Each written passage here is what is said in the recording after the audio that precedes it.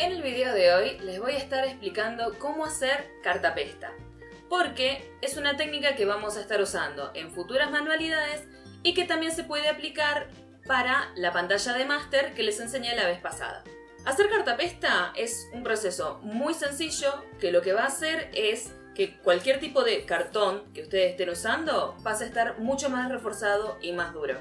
También sirve para asegurar uniones, mejor que lo que podría ser una cinta scotch o cinta de papel. Lo que vamos a estar usando es papel de diario, cortado en pedacitos así nomás, con la mano, no con tijera. Cola escolar, esta es de un cuarto, no necesitan que sea tanto. Esto va a depender de la cantidad de cartapesta que vayan a usar. Y un poquito de agua. También, idealmente, un pincel, o si no, lo pueden usar los dedos. Es un enchastre, pero es más divertido. Bien, vamos a comenzar.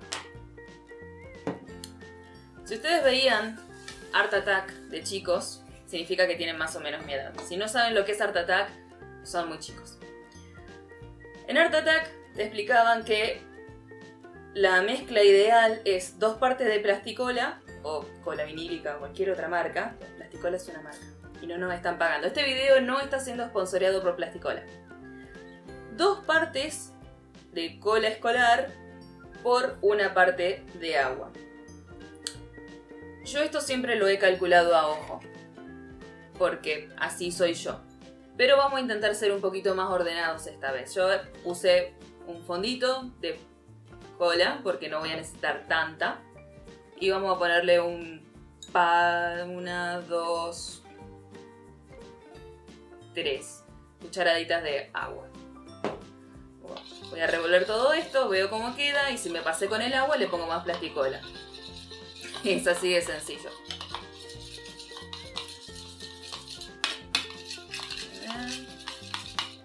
Lo ideal es que siga teniendo consistencia de plasticola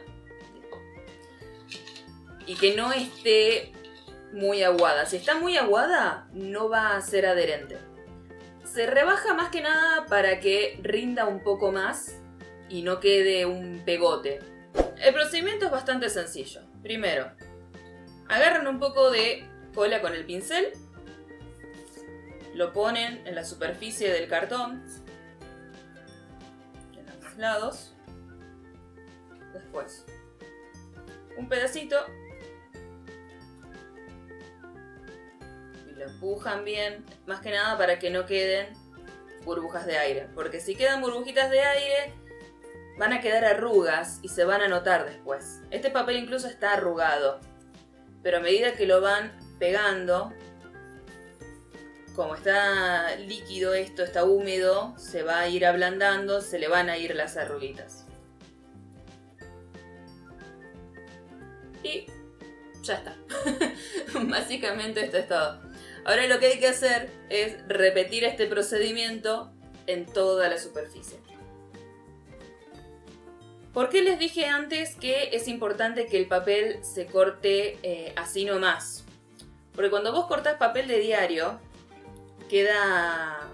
Los bordes quedan irregulares, quedan más finitos, entonces se va a unir mejor. Si vos lo cortas con tijera, el borde, al ser más recto, no se impregna tan bien, se va a notar en la superficie y no es malo, no te va a perjudicar tanto, pero funciona mejor todo esto si lo haces con eh, cortado a mano. Aparte es mucho más rápido y lo podés hacer de una forma del tamaño que vos quieras. Lo vas haciendo a ojo y listo. Recomiendo papel de diario porque es finito, eh, es muy maleable y es barato. Una, un buen lugar donde conseguir papel de diario gratis. Se van a un bar o una panadería que sirvan café o algo por el estilo. Cualquier lugar donde haya diarios gratis para que la gente lea y piden diarios viejos. Eso es lo que hago yo siempre.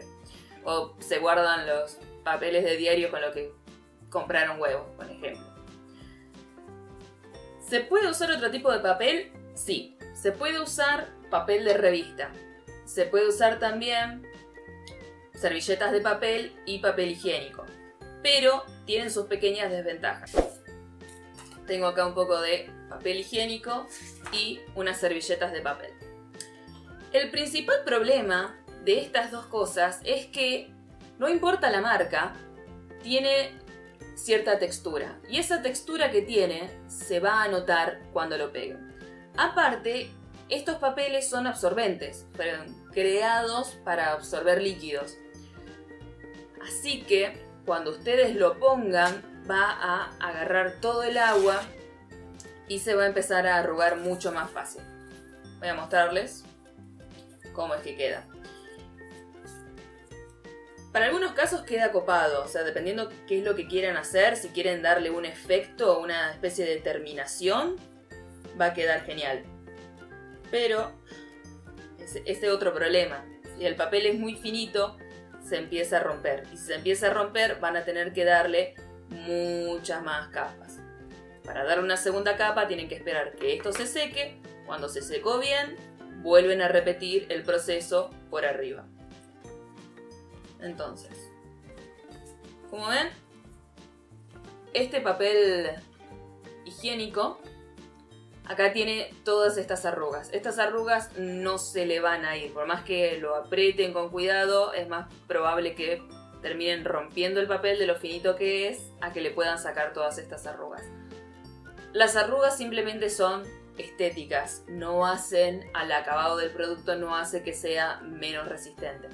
Van a tener que darle más capas, a diferencia del papel de diario. Con el papel de diario, tal vez con una o dos capas de cartapesta, si se emocionan y quieren, sirve. Con el papel de servilleta o con el papel higiénico van a necesitar unas cuantas más. ¿Qué pasa si ustedes tienen, por ejemplo, un círculo? Porque si yo al círculo le pego esto, quedan los bordecitos afuera y queda feo. Es una solución muy sencilla, la verdad. Simplemente cortan papeles mucho, mucho más finitos. Entonces, si tienen que hacerle esto a un círculo, a un óvalo, puede ser un óvalo tranquilamente, o una forma de corazón, cualquier cosa que no sea una línea recta básicamente, ponen un cachito y va a quedar medio en diagonal. Es que no lo puedo mostrar los dos al mismo tiempo, pero créanme, el papel viene para acá y para el otro lado viene en diagonal, porque está siguiendo la más o menos curvatura que tiene el cartón. Es un poco más lento hacer esto, porque necesitan ir cubriendo pedacito por pedacito. A diferencia de un, un cuadrado, un rectángulo que le pueden mandar un cacho grande de papel y no pasa nada.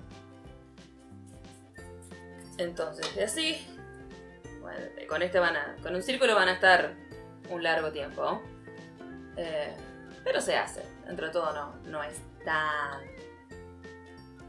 Simplemente es tener un poquito más de paciencia. Y así, otro pedacito más.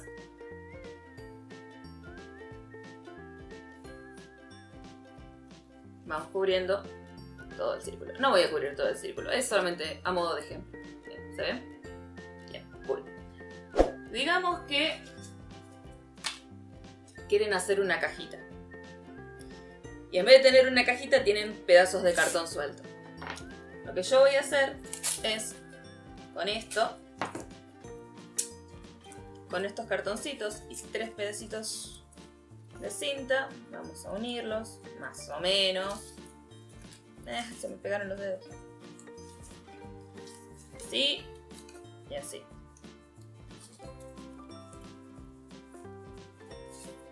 Y acá arriba también, ¿por qué no?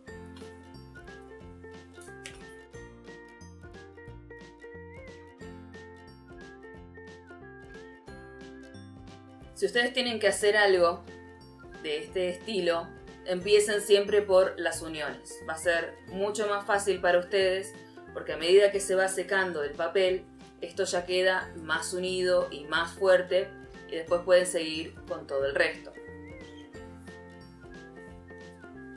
Si hay, esta, acá yo estoy usando la cinta de papel que es porosita, entonces la plasticola agarra bien.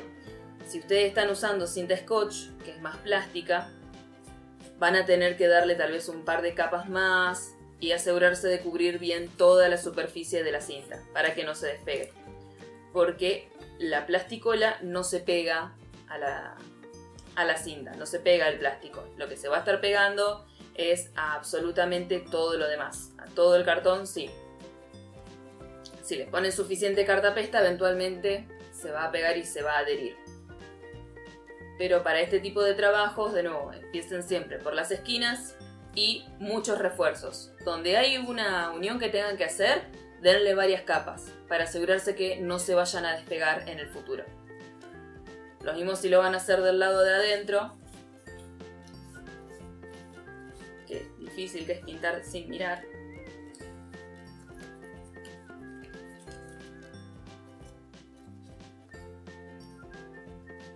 Ah, no veo. No.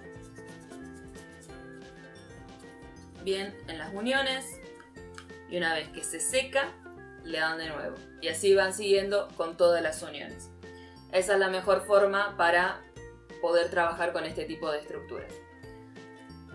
Estas técnicas las vamos a estar usando en los videos que se vienen de la torre de dados y son dos videos para torre de dados, ¿eh? Ojo. También voy a enseñarle a hacer cómo hacer una caja para guardar los dados. Todo con cartón. Y madera, ¿por qué no? Si, tiene madera, madera, pero cartón es la que va. Si ustedes quieren hacer la pantalla de máster con este tipo de técnicas, se puede, pero dos puntos. La pantalla de máster, si recuerdan, eran varios cartones que estaban unidos con una cinta en el medio para darle flexibilidad. La cartapesta no es flexible. Si ustedes cubren los cuatro cartones con eh, papel de diario y plasticola, van a quedar duros, van a quedar como una tabla. No lo van a poder doblar sin quebrarlo. Pero pueden estar usando un cartón de una caja de, que sacaron de un supermercado y la, y viene bien. Pero si quieren hacerlo, entonces las uniones del medio en las que yo usé bisagras en la de madera y cinta de papel en la de cartón, les conviene hacerlas con tela. Pueden hacer las uniones, le pegan el pedazo de tela acá, no le ponen plasticola en el medio, le ponen plasticola en un lado y en el otro, lo cubren con papel, pero que en el centro quede solamente la tela y que sea flexible. Pueden usar cualquier tipo de tela que sea blanda, más que nada, o sea, si quieren ponerle un pedazo de jean, se puede, pero pegar un pedazo de jean a un pedazo de cartón va a ser difícil. Van a tener que hacerlo con abrochadora si quieren hacerlo así. Se puede comprar una, un rollo de gasa, como viene uno que vienen con yeso, esos no les sirven. El que tiene yeso es si se quiebran un, un brazo o algo así. Les conviene un rollito de gasa que no tenga nada más que eso y van cubriendo toda la, la unión de adentro y de afuera. Eh, la semana que viene les voy a estar mostrando las aplicaciones de esto. Vamos a hacer una torre de dados juntos.